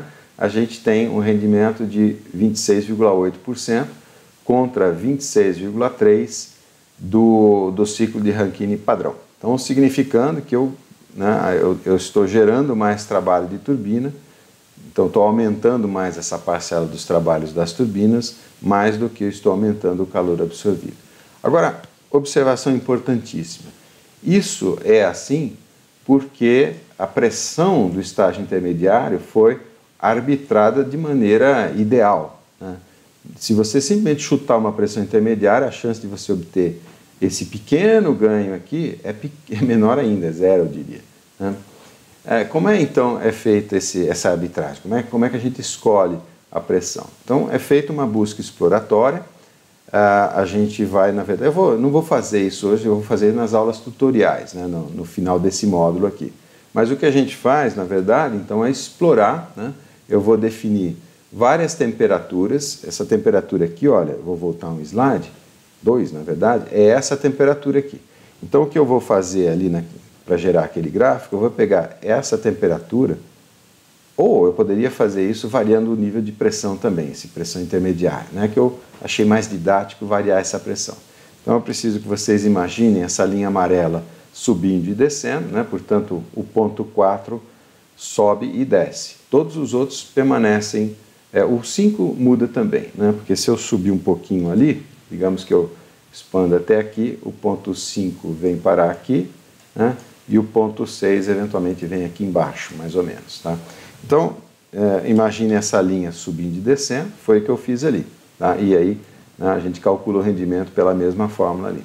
Então, fazendo isso, a temperatura variar, eu vejo que realmente né, eu, eu tenho um ponto de máximo rendimento e é justamente a temperatura que corresponde àquela pressão de 1,23 megapascais que eu arbitrei. Né? Então, na verdade, eu primeiro fiz o exercício é, de forma é, planilhada, né? planilhei isso, gerei esse gráfico e aí é, escolhi a temperatura e pressão daquele ponto intermediário né, para ter o máximo rendimento. Isso porque é muito comum a gente ter versões diferentes de um, de um mesmo ciclo, né, variantes de um mesmo ciclo, com, com reaquecimento, regenerativo, por exemplo, como a gente vai ver daqui a pouco, e é, as pessoas compararem esses cenários, né, chamam de cenários, em situações não otimizadas, ou comparar um numa situação otimizada e o outro numa situação não otimizada. Tá? Isso, né, obviamente, não é, é correto. Né? A gente tem que comparar as duas situações no seu melhor, né? já que a gente quer o melhor. Ok, é, vamos em frente. Ah, faltou fazer uma observação aqui que isso tem a ver, essa, história, essa estratégia do reaquecimento tem a ver com os ciclos de gás, né? ou, ou é empregado também nos ciclos de gás que a gente viu na, nas aulas de, do ciclo de Brighton, na verdade, tá? e são os pós-queimadores. É, tem na, na, na, caldeira regenerativa, daquele ciclo combinado, tem também, mas é, é também é comum né, nesses aviões a jato que tem os pós-queimadores. Né? Então a estratégia é a mesma, já vou mostrar ali fisicamente como é que é. Então você tem o ciclo no caso de Brighton. O ciclo de Brighton, na verdade, se você for olhar as transformações, são exatamente as mesmas do ciclo de Rankine, apenas ele não tem mudança de fase, porque justamente você está trabalhando com gás. Né? Então o que acontece? Ali na expansão, você não deixa expandir até o fim, você simplesmente expande até um ponto intermediário, depois reaquece, tá? E aí sim expande aqui e termina a exaustão. É o que é feito nos motores, aqui eu vou dar um zoom, não sei se vocês conseguem ver. Em cima ali você tem é, o motor do avião, tá? Deixa eu ver se está bem centralizado, né? Então tem o motor do avião, aqui a aspiração. Isso aqui é um, avião, um motor a jato puro, né? não é turbofan, não é aquele meia calabresa meia mussarela que eu falei. Então você tem aqui o compressor, tá? a câmara de combustão e aí a turbina. Essa turbina é só uma turbina para tirar a energia necessária aqui para a compressão. Tá? E eventualmente para gerar eletricidade para os computadores e tal, um pouquinho, né? mas é muito pouco, desprezível. Então aqui são, são os queimadores, né? e aí vem o bocal de expansão. Tá? Agora, olha o bocal de expansão, ele tem uma região aqui cilíndrica, tá? E nesse, essa gradezinha que está aqui é um ponto onde se, onde se injeta mais combustível para fazer esse reaquecimento final aqui. Tá? Então, é, ele, é, os gases expandem né, parcialmente aqui na turbina e também na primeira região aqui do bocal. Aí você tem uma nova câmara de combustão e aí o fim do bocal, inclusive esse bocal aqui com essas articulações, ele aumenta e diminui se adequando às condições de queima, como é o caso aqui. Então, quando você precisa de muita, muita potência, mesmo sacrificando a eficiência, né, que é essa condição de decolagem, ou quando vai decolar de um porta-aviões, por exemplo, se usa os pós-queimadores aqui. Né. Já dá para ver na figura que você perde, né, muito provavelmente perderá a eficiência. E esse, inclusive, é uma outra sugestão de exercício que eu deixo aqui para vocês: pegar aqueles ciclos de Brighton que a gente fez e considerar a, a adição a mais aqui de calor para fazer essa estratégia. Ok? Vamos em frente aqui. Eu, eu quero falar de mais, pelo menos uma aplicação é, do ciclo de Rankine com variantes, né? mas eu queria é, falar um pouco também de outras aplicações práticas, principalmente essas que envolvem é, demandas simultâneas de trabalho né? e calor, calor de processo, como a gente chama. Porque, eventualmente, aquele calor rejeitado ele não é um rejeito, você pode aproveitar ele no seu processo. A melhor situação que eu conheço disso, na verdade, é uma usina de cana. Tá? Então eu quero falar um pouquinho, né, perder um pouquinho de tempo, ou investir um pouquinho de tempo falando das nossas usinas brasileiras, porque elas são uma fonte de inspiração para esse curso aqui. Várias coisas que a gente vai ver ao longo do curso têm a ver com esse modelo que eu vou descrever para vocês, que acreditem é o, um modelo ah, nenhum país do mundo chegou em nada parecido com isso. Né? A África do Sul é, tem bastante cana, os Estados Unidos tem cana, a Austrália tem cana, a Índia tem cana, mas ninguém tira tanto da cana quanto nós brasileiros aqui, em termos principalmente energéticos. Né? Então vejam como é que é interessante esse modelo. Uma usina uh, sucroenergética, como vem sendo chamado modernamente, né? na verdade é uma usina solar. Né? Solar ela tem então uma zona de coleta de energia que é a plantação. Tipicamente, esses números que eu estou colocando aqui é, é uma usina média brasileira. Né? Então, algo como é, 30 mil hectares ah, de plantação e as plantas são coletores solares. Eles coletam energia do sol e constroem essas moléculas de biomassa. Tá? Essas moléculas de biomassa que vão ser usadas para converter nos produtos, no caso, açúcar, etanol e eletricidade ou eletricidade. Tá? Vamos acompanhar o fluxo aqui. Então, eu tenho aqui Sol, água e CO2 sendo absorvido pela planta, não pela, por fotossíntese. Ah, na colheita, eu tenho um transporte aqui médio de 500 toneladas por hora. Então, isso aqui, ó, como eu disse, é uma usina padrão. Esse 500 toneladas é para 30 mil hectares. Tá? E essas 500 toneladas por hora têm que ser convertidas na, na, na, instalação industrial nesses produtos que eu mencionei, açúcar, etanol ou eletricidade. Né? Aqui, na verdade, eu converto ou açúcar ou etanol, por isso que eu coloquei dessa forma. Tá? É, nesse processo industrial, você tem a absorção de mais água, isso é um calcanhar de Aquiles da nossa usina, e tem a emissão de CO2 na forma de fermentação, nos fermentadores aqui, eu já vou mostrar essa figura ampliada. Tá? E também a emissão de CO2 na caldeira, na, na queima do bagaço na caldeira para gerar essa eletricidade aqui. Isso não é um problema, porque esse CO2 que está sendo emitido, na verdade, ele foi absorvido. Tá? Então, ah, isso né, tem um balanço praticamente zero, só não é zero principalmente por causa dos caminhões e tratores aqui que usam diesel. Tá? Ah, mas eu vou mostrar, por exemplo, se a gente sequestrasse isso daqui, teria uma pegada negativa de carbono a, a nossa usina. Então eu tenho isso daqui como emissões, eu tenho eh, geração de resíduos sólidos, isso daqui na verdade é altamente nutritivo, né? então isso volta para o campo como fertilizante e tem também a geração de 500 metros cúbicos por hora de vinhaça. Isso aqui é um rio, na verdade, que também é aplicado no campo na forma de adubo. Essa operação aqui, cuidado, ela é antieconômica na verdade, porque essa vinhaça é dessas 500, desses 500 metros cúbicos aqui é que eu fiz a conta em toneladas, na verdade. Então dessas quase 500 toneladas de vinhaça, pouco menos de uma tonelada é realmente fertilizante, tá? NPK. O resto é água mesmo. Então o processo aqui é chamado de fertirrigação. Né? Por quê? Porque você está, na verdade, aplicando muito mais água do que é, do que nutrientes, né, do que adubo. Porém, né, você não tem o que fazer com essa vinhaça, você não pode jogar no rio, vai tomar uma multa danada, então volta para o campo isso tem um custo é, para a usina. Isso aqui é antieconômico, do ponto de vista econômico. E mais, né? É, ah, e o, e o campo, essas plantas aqui, quando elas absorvem, quando elas crescem, elas absorvem do, do solo alguma coisa como uma tonelada por hora. Então fecha direitinho. Aqui tem quase uma tonelada por hora de nutrientes aqui eu preciso de uma tonelada por hora, então se você trouxer de volta, você vai ter.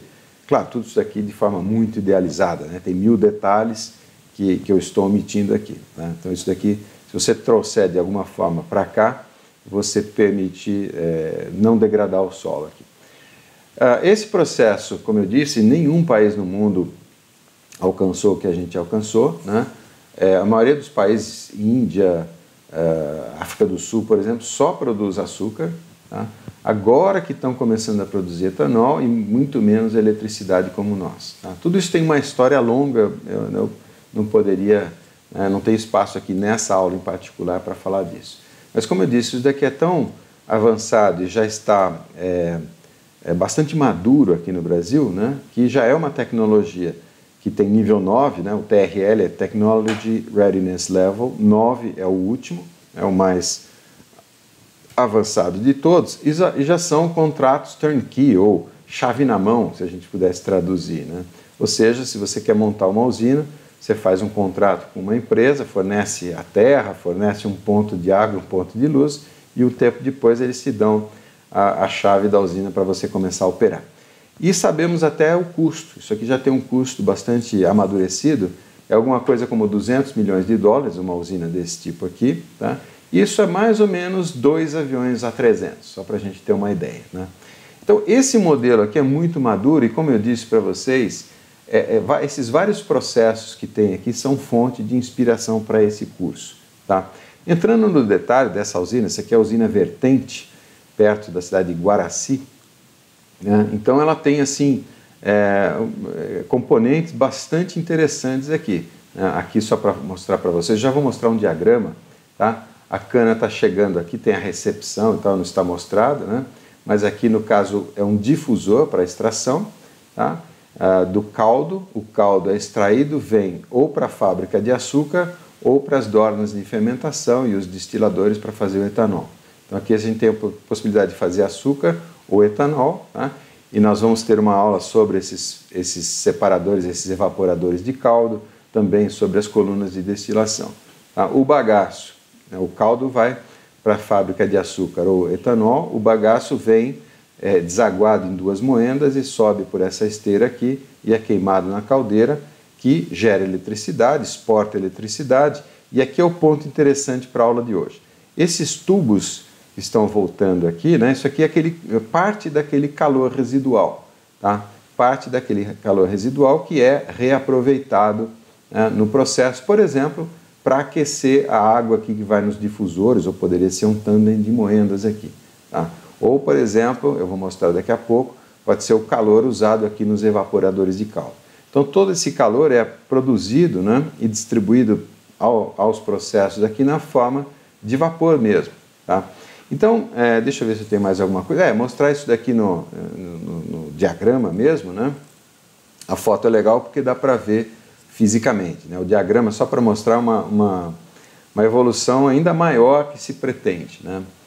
É, então, por exemplo, ali está o processo, a recepção, como eu disse, a extração do caldo. O caldo, me perdoem aqui o inglês, né? eu peguei essas, é, essas transparências, esses slides do meu curso na pós-graduação em bioenergia, que algum, em alguns anos eu dou em inglês o curso, dependendo dos alunos. Tá? Mas então, extração do caldo, o bagaço é desaguado em moendas e vai para uma, uma caldeira para queimar, produzir vapor, tá? e aí produzir eletricidade e o, e o excedente a gente exporta. Tá? Ah, aqui também eu já, já estou considerando a queima da palha, né? então você pode colher a palha também e eh, queimá-la aqui para geração de energia. O caldo ele pode ou ser usado para produção de açúcar, evaporação, cristalização, centrifugação, já vou mostrar isso daqui em detalhe, Tá? Inclusive os melaços aqui, o melaço na verdade pode e normalmente é fermentado junto com o caldo, caso você derive, né? Isso aqui é uma válvula de três vias, tá? Então parte do, do caldo você pode é, destinar à fermentação, tá? produção de etanol e o, a vinhaça é um nutriente. Ok? Seria o processo convencional e agora eu quero mostrar algumas variações interessantes. Lembra que eu falei para vocês da pegada de carbono? Uma alternativa é você converter o seu, o seu queimador, o seu boiler, né, a sua caldeira, numa caldeira de oxicombustão. Eu vou voltar um slide. Essa caldeira convencional queima com ar, produz nitrogênio, CO2 e água como gases de combustão. Se você queimar com oxigênio puro, tá? É, você vai ter a produção só de CO2 e H2O. H2O você pode resfriar, ela condensa, separa. Lembra que água é, é um calcanhar de Aquiles. E vou voltar mais um slide. Essa caldeira aqui, ela, esse H2O que está aqui, é alguma coisa como é, 100 toneladas por hora. Né? Lembra, são 500 toneladas por hora de cana chegando e você está pondo na chaminé 100 toneladas por hora. Tá? Então, é um, uma caldeira convencional dessa é um umidificador de ar gigantes. Então, uma das vantagens de fazer a oxicombustão é poder recuperar a água né? e o CO2. Se você comprimir o CO2, você produz CO2 supercrítico. Tá? Isso nós já vimos, isso aqui tem a finalidade de, de armazenamento geológico, por exemplo, ou em vários processos químicos aí de extração, como foi o caso da aula que eu, em que eu falei do CO2 supercrítico. Ah, nesse caso, então, para ter a, a caldeira de oxicombustão, você precisa de um processo para produzir o oxigênio, né, separando o oxigênio do ar, e você tem também um outro produto aqui, que seria o nitrogênio. Isso aqui tem valor comercial. Né, nitrogênio comprimido tem valor comercial. Tá? A vinhaça ela já está sendo aproveitada como uh, fertilizante ou fertirrigação, né? Mas ela pode ser aproveitada também. Tá? Então você pode, por exemplo, através de digestão anaeróbia, você fermenta o resíduo energético que tem, produz metano, eventualmente queima aqui na caldeira, e através de um processo de separação final, osmose reversa, ou eu andei estudando, por exemplo, usar um fotobioreator, cultivar algas com isso daqui, e aí você vai ter a recuperação dos nutrientes. Então, o que você vai devolver para o campo, na verdade, não é a água, né? a água é só quando está seco, né, que você precisa pôr água no campo, você vai levar só os nutrientes, isso daqui é muito, muito mais econômico. Uma outra possibilidade ainda que eu coloquei aqui, que faz parte das motivações aqui desse curso, eu já falei para vocês da explosão de vapor, né, do pré-tratamento por explosão de vapor ou pré-tratamento hidrotérmico, né, é, serve para isso aqui. Você vai pegar o bagaço, tá? vai fazer o pré-tratamento, vai separar o que é fermentescível, hidrolisar, gerar açúcares e vai aumentar a produção de etanol e os resíduos, tipicamente lignina, por exemplo, altíssimo valor energético, você pode queimar para fazer energia. Então repara como esse negócio vai crescendo em complexidade e vários desses processos aqui eu vou voltar em aulas futuras. Né? Por exemplo, vou, vai ter uma aula sobre o processo de evaporação de, de caldo aqui, tá? e vai, a própria oxicombustão, na nossa aula de, de primeira lei com equações químicas, eu vou mostrar isso aqui para vocês em mais detalhes. Tá? Então, é, eu pedi um tempinho aqui para explicar o processo, porque realmente é uma grande motivação para as aulas práticas que virão. Uh, entrando então no, no, em alguns dos detalhes, né? aqui está a minha caldeira de oxicombustão, aqui eu estou mostrando o processo de separação e já estou mostrando aqui aquele ciclo a gás com recuperação de calor. Né? A gente fez isso no ciclo de Bragg. Agora repare o seguinte, aqui tem uma noção, né? isso aqui é a caldeira, o ciclo, e a turbina ali está exportando eletricidade para isso que eu chamo de o barramento, tá? como se fosse eletricidade mesmo, o barramento. Né?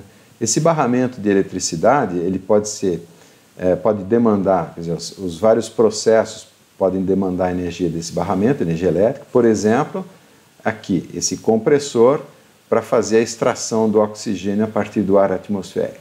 Tá? Por exemplo, a própria bomba do ciclo térmico.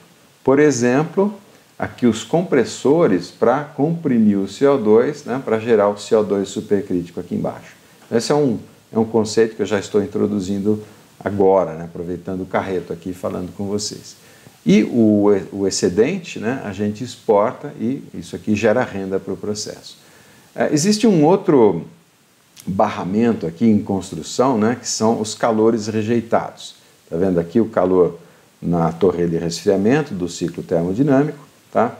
o calor aqui do deságue, lembra que eu tenho misturas de, de, de CO2 e H2O, para separar a água basta resfriar, a água condensa, eu recupero aqui, mas resfriar significa remover calor, então eu tenho calor rejeitado aqui. E mesma coisa aqui, nesses compressores multistágio, eu tenho etapas de resfriamento. Lembra da aula de eficiência isentrópica, onde nós mostramos que o processo eh, de compressão isotérmica é o que menos consome trabalho, menos consome esse trabalho aqui. Então, é, para manter a temperatura constante, ou aproximadamente constante, eu preciso remover calor. Então, esses calores todos aqui é, é aquilo que eu falei que pode ser aproveitado no processo. Né?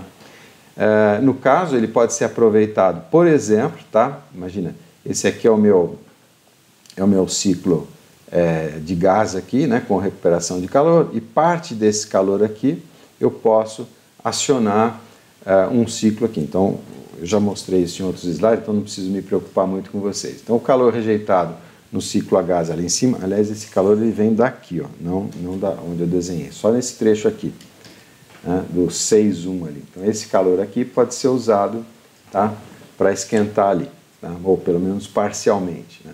Provavelmente você vai precisar de uma outra fonte de calor para fazer essa troca, ou vai depender da implementação, na verdade. Né. Isso aqui a gente vai ver na aula de, de ciclos avançados. E aqui já apareceu um interessante, que é um ciclo chamado de transcrítico, porque parte do ciclo é subcrítico e parte é supercrítica. Né? Então, aqui nessa Nessa transformação, ele desce de supercrítico para subcrítico e aqui vice-versa. Ok? Então, são as várias implementações possíveis no caso da parte de potência. Né? Na parte ali dos, é, dos, dos, processos de evaporação, aqui só para a gente voltar, né? esses são os evaporadores de calda, centrífuga. Eu vou voltar ali no, no slide. Essa figura que eu estou mostrando está aqui, ó, os evaporadores de caldo, né? A parte do açúcar propriamente. Tá? E aí, né, não está mostrando aqui as centrífugas, é, deixa eu voltar ali onde eu estava, né? Opa! Então, eu estou mostrando isso para vocês. Então, olha só, aqui é aquele barramento térmico do slide anterior, tá? E eu vou usar parte desse, desse, desse calor na forma de vapor para fazer a evaporação do caldo, tá? O caldo ele está chegando aqui com uma baixa concentração de açúcar e você, através de evaporações sucessivas, vai ter no final aqui um caldo né, com com uma alta concentração de açúcar. Nós vamos ter uma aula só sobre isso daqui. Eventualmente você precisa de energia elétrica para bombear o caldo, né? Que o caldo está aqui nessa seta preta aqui. Né? Então na saída aqui faltou a última, né? Tem o caldo a alta concentração ah, e, e isso daqui pegando aquela energia térmica residual. Aqui também, eventualmente, eu tenho energia aqui para cristalização, energia elétrica para centrifugação. Também não vou entrar muito no detalhe aqui. Tá? Agora sim eu vou é, algumas definições de trabalho. Né? Então lembra, a nossa usina como um todo ela continua, né? tudo é governado pela primeira lei e pela segunda lei. Então a nossa usina como um todo tem um ciclo térmico desse. Parte desse ciclo térmico, ou esse ciclo térmico, está mostrado aqui. Olha. Lembra? A caldeira, a turbina, a torre de resfriamento e a bomba. Então parte do, do circuito está mostrado aqui. Né? Parte do circuito global, né? o circuito térmico é tudo isso daqui. Agora, lembra que eu falei para vocês que eu estou focando em aplicações que envolvem uso de calor também. Né? E, o meu, e a minha definição de rendimento termodinâmico não envolve o aproveitamento desse calor. Então a gente vai mudar um pouquinho essa definição para uh, poder quantificar isso daqui. Como é que é o caso aqui? Pegando os evaporadores de caldo como exemplo, vale um zoom ali, né? Opa, deixa eu ver, me perdi aqui meus comandos de tecla. Opa, Peraí, pessoal. Ux, me atrapalhei na pilotagem aqui. Então, deixa eu voltar. Perdoem. Escapou a marcha. Isso aqui, se fosse um, um carro com marcha, tinha escapado a marcha. Eu dei um comando errado de tecla e mudei de dimensão. Então, imagina que eu, que eu esteja aqui olhando o, os evaporadores de caldo. Né? O caldo está vindo aqui por baixo. Ele passa nos vários efeitos ali sai com alta concentração de açúcar. Depois a gente vai ver isso aqui em detalhes. Né? Mas imagine então, esse, esse primeiro efeito, esse primeiro estágio, ele recebe um pouco de vapor, tá? cede o calor, então esse vapor condensa, e esse calor é, da condensação do vapor serve para evaporar o caldo que está ali dentro desse, desse, desse efeito aqui. Tá? Então aqui eu tenho formação de vapor d'água né, e aqui caldo ligeiramente concentrado. O vapor d'água formado na evaporação do caldo eventualmente é condensado no estágio seguinte, liberando mais calor ainda e concentrando mais ainda o caldo e assim sucessivamente. Tá? Mas você precisa desse é, V0 aqui de calor. Esse V0 é vapor mesmo. Então você vai obter esse vapor aqui, olha. Então ali na saída da turbina você pode desviar parte do calor do vapor. Aqui pode ser vapor saturado, né? que iria para a torre de resfriamento, parte dele você desvia para condensar, ou para, em vez de condensar na torre aqui, condensa no primeiro efeito. Né? Isso aqui tipicamente está próximo de 100 graus, né? E aí o primeiro efeito você pode trabalhar com uma temperatura um pouco mais baixa, por exemplo. Né? Então o fato é o seguinte: esse vapor saturado vem, volta condensado e se junta com o excedente de vapor que voltou para condensar aqui na torre de resfriamento. Eventualmente, 100% desse seu vapor é usado ali, né, não só nesse, mas nos outros processos. Tá? De forma que a vazão do ciclo, né, aqui tem um errinho, né, aqui a, a vazão do ciclo, não tem essa, não tem essa, esse mais aqui, tá? É, então eu tenho uma vazão total do ciclo aqui, da qual eu subtraio o que eu estou chamando de vazão de vapor de processo, tá? Isso aqui esses números vão aparecer no slide seguinte.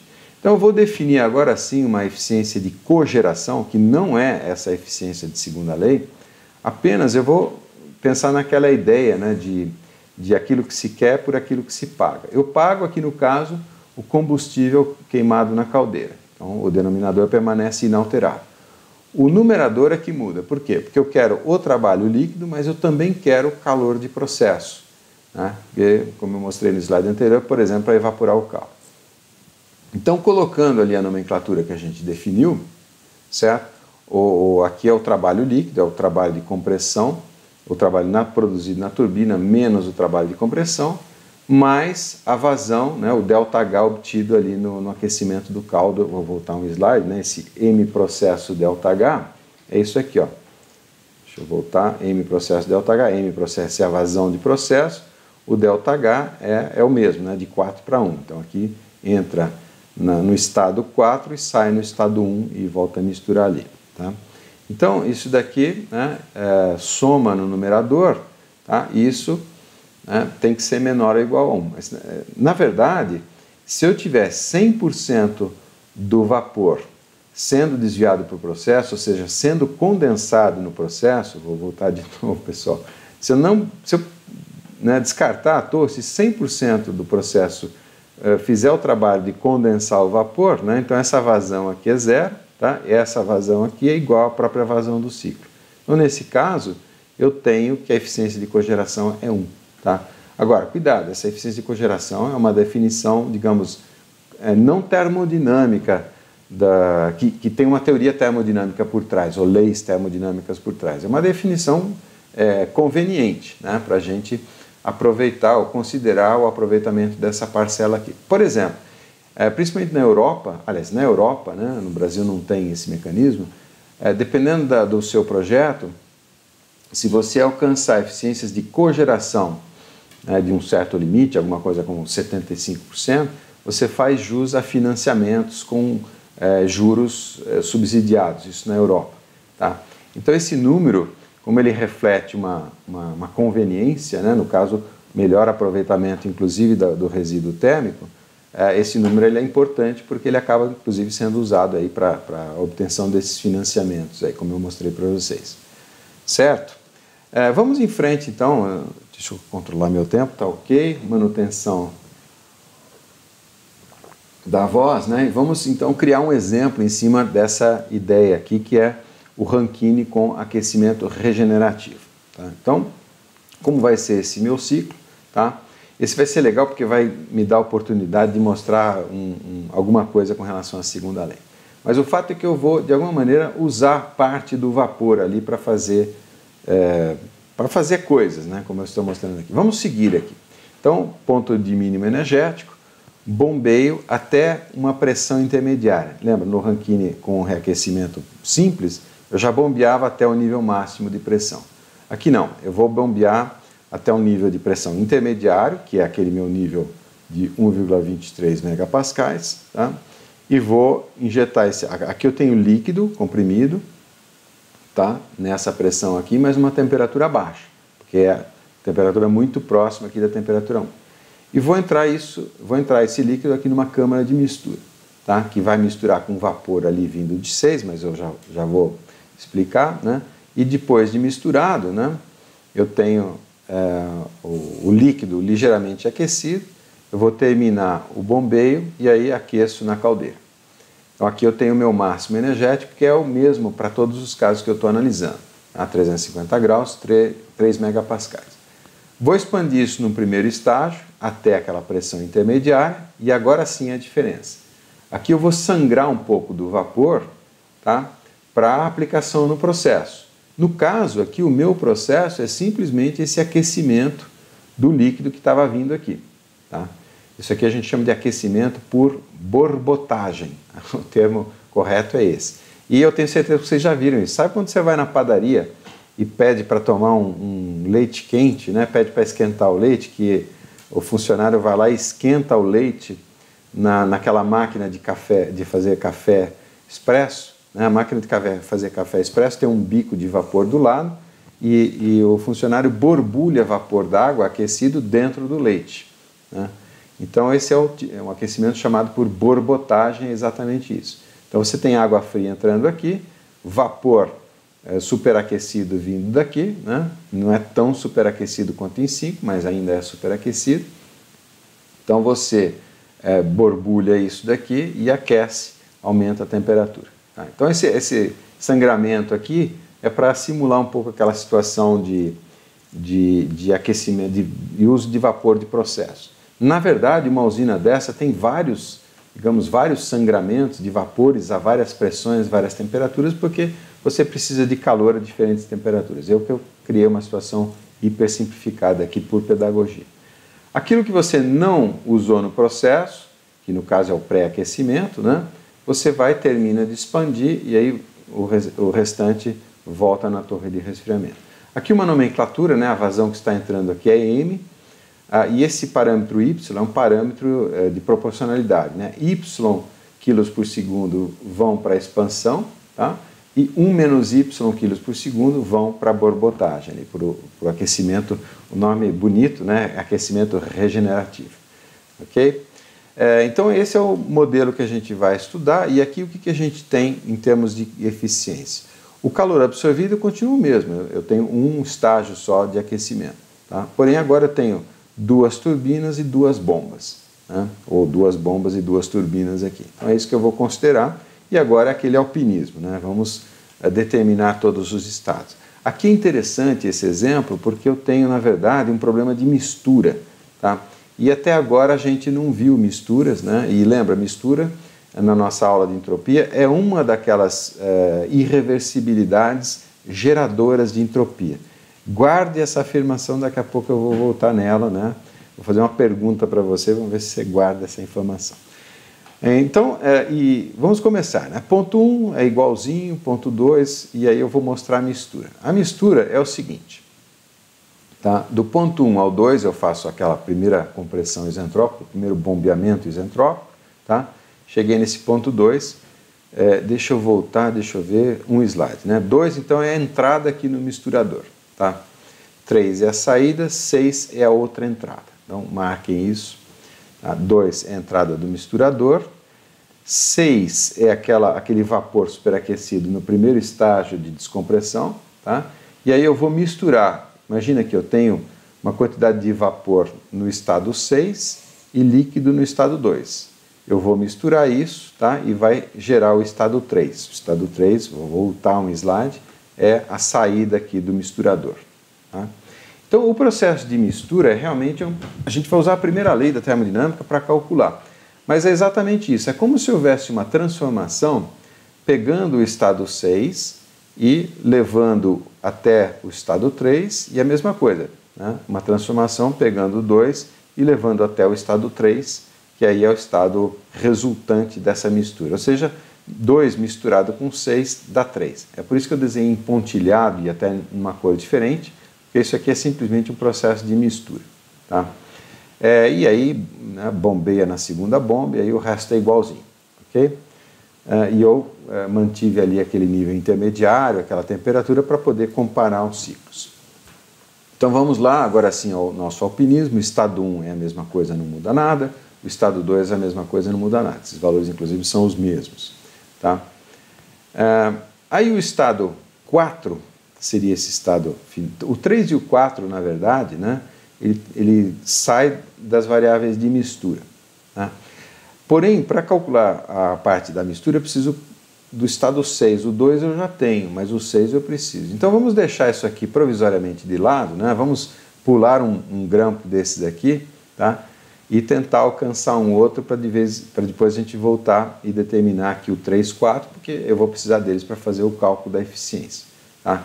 Então vamos para o próximo ponto, porque esse eu tenho, o ponto 5 é o máximo energético, 350 graus, 3 megapascais eu tenho, tá? O ponto 6, na verdade é o próximo slide, idem, né? porque ele está a mesma entropia de 5, e o ponto 7 também é o termina a expansão.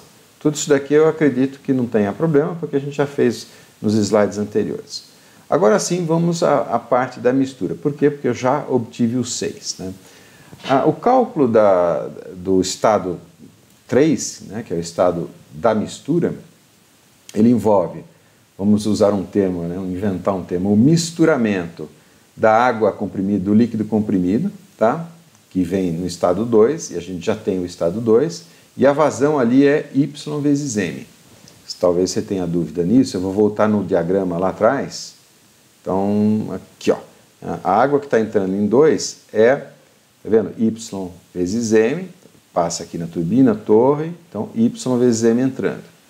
A água, que, o vapor que está entrando para a borbotagem é 1 menos Y vezes M, e aí a soma é M. Né? É 1 menos Y vezes M mais Y, cancela o Y, dá M simplesmente. Então é isso que eu vou fazer. Na verdade, eu vou fazer o seguinte: eu vou criar um volume de controle, que é essa câmara de mistura aqui, e vou escrever a primeira lei. Está escrita aqui do lado. Não tem calor, não tem trabalho envolvidos, né? Não, supostamente está isolado termicamente, não tem nenhuma, não tem nenhuma fronteira móvel, portanto não tem trabalho. e eu só tenho a mistura. Então está escrito aqui a equação. A entalpia resultante é a soma das entalpias que estão entrando. Tá? Então está entrando do lado da borbotagem, 1 menos y vezes 6. Aqui eu já cancelei o m, né? Vocês já perceberam isso. Então, 1 menos y vezes o H6 mais y vezes o H2. Com um condicionante aqui, esse H3 tem que ser maior que o líquido saturado. Né? Isso aqui é semelhante àquela história da, da turbina lá para vocês, mas é só um condicionante. No caso aqui, então, né, eu tenho que o, eu, eu posso determinar o H3 eh, dessa maneira, né, fazendo essa soma e arbitrando o y. E aí eu consigo determinar o S3 para aí determinar o S4. Né? Por quê? Porque S3 vai ser igual a S4. E o S3 eu vou poder determinar por quê? Porque do ponto 3 eu já conheço a pressão, são os meus parâmetros de projeto. Né? Eu já conheço a pressão, né, que eu arbitrei, aquela pressão intermediária, e, é, e o Y, eu vou, eu vou uh, arbitrar um valor de Y, né, que são parâmetros do projeto. É, então, vamos, eu estou arbitrando 98%, esse 12,31 bar é aquela arbitragem que vem né, da, do Rankine com aquele ciclo intermediário. Então, estou mantendo o mesmo nível de pressão, 1,23 megapascais. Esse 98% para o Y, eu arbitrei só para gerar um número mesmo. Tá? Então, fazendo isso, o que, que eu tenho? O H3, né, aplicando essa fórmula aqui, eu tenho que o H3 é 435. Ah, e aí, calculando o S3, em função da pressão é P3, que é essa pressão, e do H3 que eu determinei em cima aqui, eu, eu calculo 1,3486. Agora, um negócio extremamente interessante.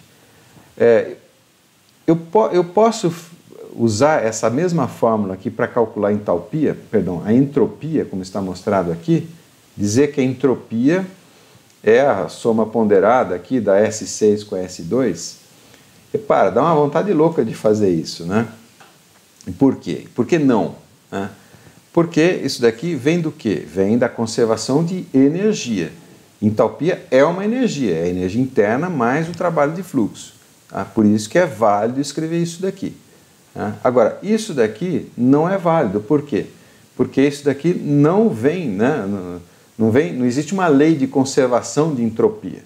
Ah, quando a gente escreve o que seria um inventário de entropia, para fechar o inventário eu tenho que botar um termo de geração de entropia. Ah, isso a gente viu nas aulas lá sobre entropia. Ah, vamos voltar a fazer esse tipo de análise entrópica e, e exegética, e aí vai ter os termos de geração. Agora, eh, se eu fizer essa conta aqui, repare, se eu fizer essa conta, essa conta está feita aqui embaixo.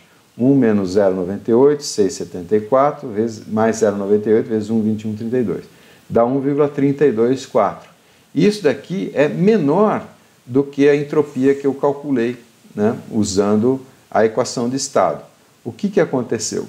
Tá, por que, que essa, a entropia real do ponto 3 é maior do que a entropia, digamos assim, de mistura? Tá? Porque justamente mistura é um processo é, que gera irreversibilidades, é um daquelas, daquelas, daqueles fenômenos que gera irreversibilidade, atrito, troca de calor com delta-T finito, reação química, mistura. Mistura é o caso aqui. Então, esse processo aqui ele é um gerador de entropia. Tá? E essa diferença a gente já está vendo aqui aparecer. Então, muito cuidado, dá uma vontade louca de fazer essa equação, mas ela não é verdadeira. Tá? É importante destacar isso para vocês, até porque a diferença é pequena. Correto? Vamos em frente, então, com isso a gente tem todos os números, né? E aí eu consigo terminar o meu alpinismo aqui, colocar o último grampo que a gente tinha pulado. Então, com a pressão P4, aqui de, de é, 3 megapascais, e o S4, que vem do S3 que eu acabei de calcular, eu calculo finalmente o H4. Agora eu tenho todos os Hs e posso fazer as contas. As contas estão feitas uh, rapidamente aqui, né? aqui a, a definição do trabalho, né? do, do, perdão, do rendimento, os, os, trabalhos das turbinas menos os trabalhos das bombas, sub, uh, dividido pelos calores absorvidos. Colocando tudo em função das entalpias que a gente tem, e aqui, obviamente, eu vou cancelar o M, estou né? Tá usando o parâmetro Y, tá? eu tenho essa fórmula aqui para o cálculo do rendimento, que eu né, uh, deixo como, uh, como sugestão vocês refazerem essas contas aqui. Mas refazendo a conta, esse, esse aquecimento nos, nos dá um rendimento de 26,1%. Tá? E aí é, é, aquele problema, né? Eu tenho aqui, lembra o Rankine puro, o Carnot puro, alguma coisa como 45%, o Rankine Default 26,3% e o Rankine com reaquecimento 26,8%. Esse daqui ficou pior, na verdade, tá? 26,1% ficou pior até do que o, o Rankine Default. Por quê? Porque justamente, né, eu vou voltar um slide, você tem, ou melhor, dois, né, você tem, entre outras coisas, você tem geração de entropia nesse processo. E isso acabou penalizando né, o eventual ganho que você teria, você acabou não tendo. Né. Mas tem uma outra, uma outra observação importante, é aquilo que eu falei, as, as configurações elas devem ser comparadas na sua eh, forma otimizada. Essa, esse Y aqui eu chutei, tirei da manga, né, 0,98 tá? e deu um rendimento pior. Será que outros rendimentos eh, dariam, eh, perdão, outras frações y dariam outros rendimentos eventualmente melhores do que esse? Tá? Também eu deixo como sugestão para vocês gerarem uma planilha, na verdade, simplesmente fazer um gráfico né, desse rendimento eta em função da, da coordenada y, daquela fração y que a gente destina ao reaquecimento regenerativo, né, ou por borbotagem, como eu falei para vocês. Tá? A explicação no gráfico, é, acho que é até um pouco mais rica, né? ela é o seguinte, o que, que eu estou ganhando e o que, que eu estou perdendo. Né? O ciclo de Rankine-Defoe estaria aqui nesse envelope externo. O que eu estou fazendo é pegar um pouco do vapor, né, sangrar aqui, Portanto, o que eu tenho para produzir trabalho nessa região baixa aqui é um pouco menos. Né? Eu tenho, né, a vazão que eu tenho para gerar trabalho nessa expansão é M, e a vazão que eu tenho para gerar trabalho nessa expansão final aqui é Y vezes M. Tá? Portanto, eu tenho um decréscimo de trabalho proporcional ao Y ali. Tá? É, isso então é negativo, quer dizer, o trabalho ali diminui né, no numerador. Porém, o trabalho da bomba é, duas coisas diminuem aqui, na verdade, né, quando eu faço isso. Porque como eu, eu é, pré-aqueço esse material, tá, então eu tenho um, um, uma diferença de ΔQ né, correspondente a esse aquecimento aqui que eu achurei que eu teria na versão normal do ciclo de Rankine. Tá.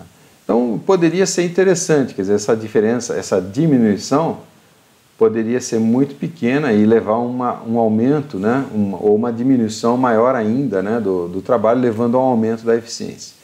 Na verdade, aconteceu exatamente o oposto. Eu diminui muito mais o trabalho do que eu diminui o calor absorvido aqui. Né? Porém, isso para aquele 0,98 de, de fração né, Y ali. E aí a pergunta que eu coloquei, será que existe um, uma, um número é, que que dá um rendimento maior, né, eu vou deixar isso como sugestão, mas eu já vou dar um caminho. Quando você faz isso, se você desviar mais água, mais vapor para a borbotagem, você vai ter um processo de mistura mais intenso ainda, portanto, mais geração de entropia. Tá? Se vocês fizerem essa sugestão que eu falei aqui para vocês, né, fazer um gráfico de eta em função de y, vocês vão né, talvez ter um resultado, talvez não, vão ter um resultado que reflete exatamente isso que eu falei mais vapor na borbotagem, mais geração de entropia. Não vou falar mais porque eu quero deixar a, a sugestão para vocês. Ah, então, aqui está a explicação, e agora, né, com isso, eu termino a aula de hoje, já que a gente fez tanto alpinismo, né, então eu termino com essa imagem impressionante aqui da Monique Forestier, tá? Uma escaladora de rocha, né, e aí dá para ver direitinho aqui os, as seguranças, né, e ela não vai cair não, se ela cair ela vai né, balançar um pouquinho. Espero que vocês tenham aproveitado essa aula, fico à disposição e até a próxima, pessoal.